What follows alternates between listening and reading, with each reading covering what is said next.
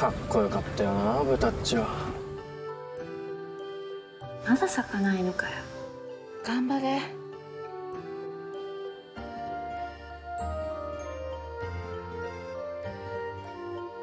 デートしてやってくんないかな。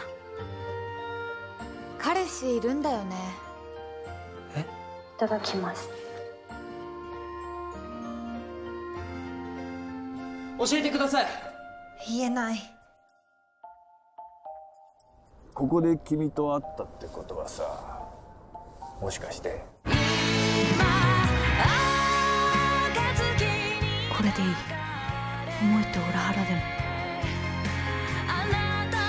自分を大切にしなきゃダメだ。よ